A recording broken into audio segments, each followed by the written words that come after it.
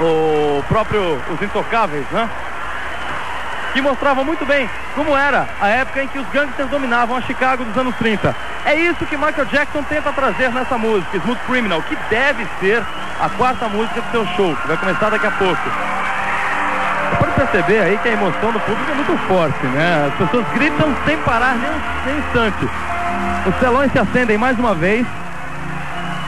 Começa a quarta música de Michael Jackson. Um som vem tomando conta do Morumbi. No centro do palco se acende uma luz.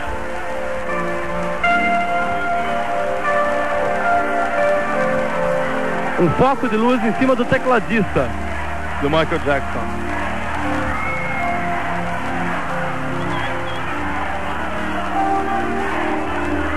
Somente David Sadler, o tecladista do Michael Jackson, tem iluminação.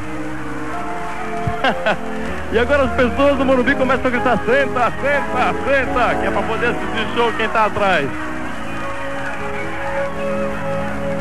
E já já pega fogo, hein?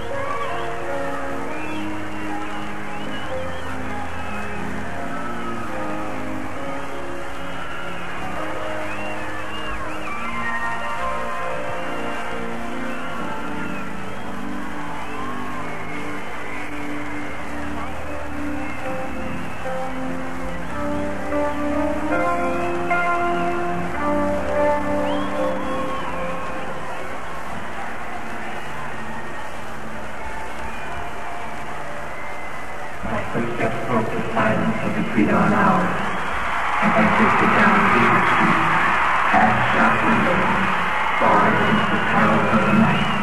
Panos brancos surgem atrás do palco. Uma voz narra a história de um crime. É a própria voz de Michael Jackson sintetizada. Agora ele aparece por trás do pano. Só a sombra de Michael Jackson dançando e já dá pra perceber. Ele está com blazer, chapéu, vestido estilo gangster dos anos 30. Dos anos 30 de Chicago, claro.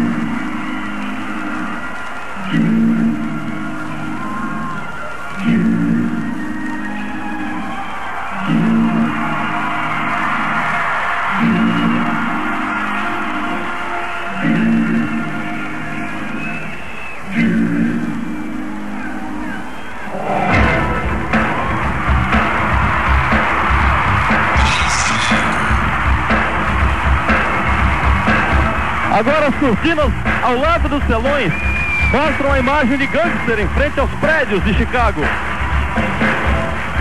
Um cenário ao fundo aparece ah, o letreiro de um hotel onde dança Michael Jackson. Sobem os panos brancos agora e surge Michael Jackson e seus dançarinos. Todos eles vestidos como gangster. Smooth Criminal, quarta música no show de Michael Jackson.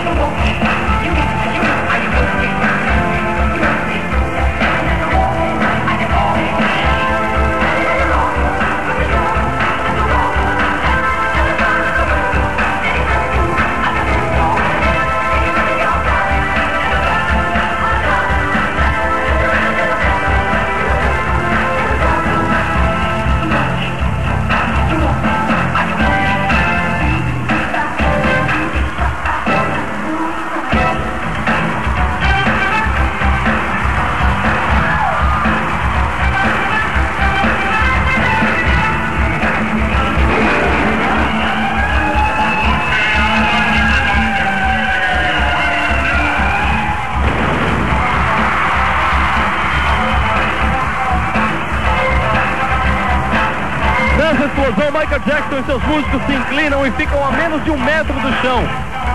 Com o corpo todo reto e inclinado, formando um ângulo de aproximadamente 30 ou 40 graus. Ninguém entende como eles não caem. Na verdade, esse truque é feito pelos sapatos que Michael Jackson e seus bailarinos usam.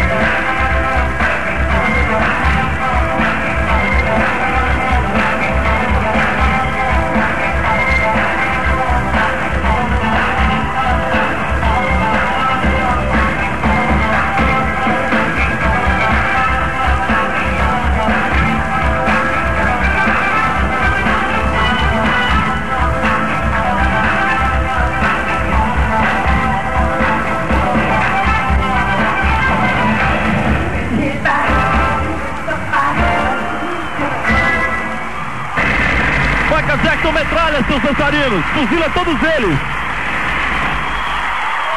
E como se fossem balas de metralhadoras, saem rajadas de suas mãos, rajadas, feitas com fogos de artifício.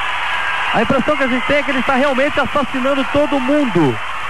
Como se seus dedos saíssem milhares de balas. E ele sai andando lentamente por entre os corpos de seus bailarinos. As luzes focalizam um por um. Agora vem o pessoal da produção e leva os bailarinos arrastados pelos pés, como se realmente estivessem mortos. Vai saber, né? e você pode sentir a reação da plateia. É realmente incrível, impressionante. Tudo o que acontece é uma surpresa para as pessoas. Mais uma parada, final da música Smooth Criminal. Aliás, Michael Jackson deve voltar ainda nessa música. A gente vai saber como é que está do outro lado do Morumbi com o Sandro. Sandro, vai daí. Paulo Melo, se tem uma coisa que é marcante no show de Michael Jackson, você pode ter certeza, é, co é, é, é, como o Michael cativa o público no Morumbi. É impressionante o carisma que ele tem aqui no Morumbi. A cada movimento, a cada gesto, a cada olhar, a cada virada de cabeça que ele dá, o, pessoal, o público delira. Inclusive eu tô aqui, tô aqui com o Evaldo, de Recife, né, Evaldo? Tô aqui com o Evaldo de Recife. Evaldo, você que veio de Recife, viajou de tão longe, diz pra gente como que você tá é, encarando, como você tá, o que, que você tá achando do show? Cara, é impressionante, eu nunca vi uma coisa tão linda, tão gostosa de se ver, realmente é, eu estou emocionado, realmente eu estou muito emocionado, nunca vi uma coisa tão maravilhosa como essa. Recife, quer mandar um abraço para alguém? Pode mandar, tá pro Brasil inteiro. Bom, eu queria mandar um abraço é, pro, pro pessoal da minha família, minha mãe, meus pais, pessoal também da, da Rádio Transamérica lá de Recife e de todo o Brasil que está fazendo essa cobertura maravilhosa que é o show do, do Michael Jackson. É a Transamérica então na cobertura do show de Michael Jackson no Brasil. Aliás, emocionando o Brasil. Vai daí, Paulo. Obrigado, Sandro. Agora vai começar em breve a música Just Can't Stop Loving You e nesse momento, exatamente em frente ao palco, no chão, no gramado do Morumbi, algumas pessoas da equipe de produção de Michael Jackson passam com uma lanterna na mão, focalizando somente as garotas que estão ali na frente. Uma produtora do Michael Jackson escolhe uma das meninas e aponta para o segurança. O segurança vai até a garota, pergunta se ela quer subir ao palco. É claro que ela quer. Aí o segurança pega a menina por cima da grade e o telão focaliza nesse momento o T da Transamérica. E a reação da plateia é incrível.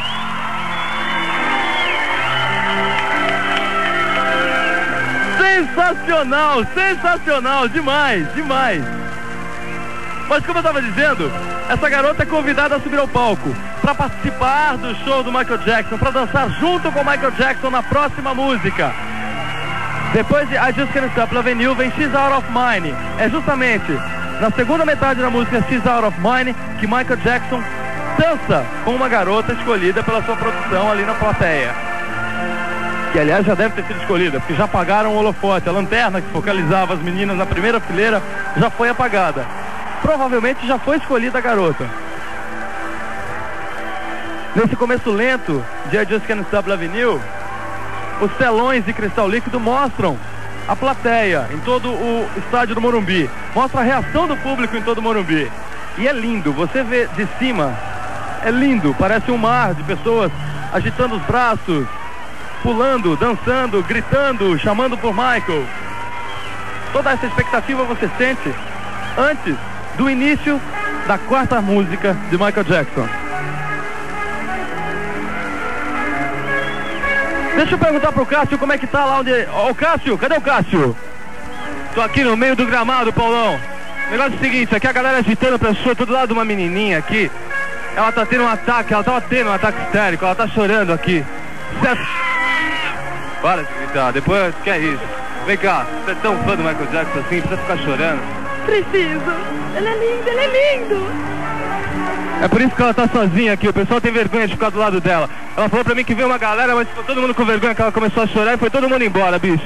Falou, Paulo, com você. Obrigado, Cássio.